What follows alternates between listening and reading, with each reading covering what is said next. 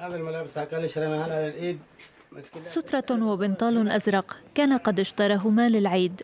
كل ما تبقى من رائحة الطفل اليمني مراد المروعي وأب يجهش بالبكاء. شلتها من إدارة البحث أنا في بطانية البطانية على الموتور شلتها وديتها لإدارة البحث. ومن هناك شلوا جراعات وشلوا وروعي بالعينة لا غسلت لا كبنت لا سويت له أي حاجة. بين طربال كيف شعوري؟ السنة التاسعة من عمر الطفل اليمني كانت الأخيرة بعد أن قتل في انفجار لغم أرضي على شاطئ محافظة الحديدة الغربية زرع خلال الحرب.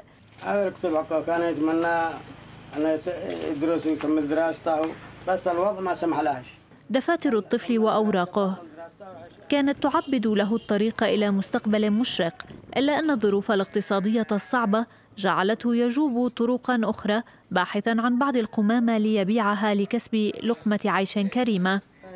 لم تتمكن هذه الأم الثكلى التي تقبل صورة ولدها باكية من أن تلملم بقايا طفلها بعد أن انفجر به لغم في محافظة الحديدة وأن تقوم بدفنه كما يليق به إذ تحاول أن تكتفي فقط بلملمة دموعها عاجزة عن تجاوز ما حصل.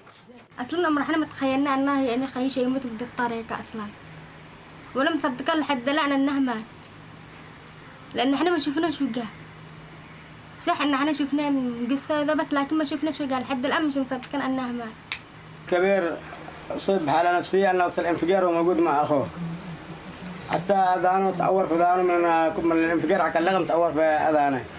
الآن أنا حتى لو سمع الصوت أي موتور أي صوت ذا يخاف. حسبه صوت حسبه صوت لغم أي انفجار يخاف منه طوالي.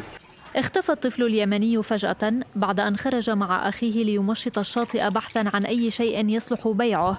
ولم ولن يعود إلا أن فاجعة مقتله تعود كل يوم آلاف المرات لزيارة هذا البيت اليمني المنكوب.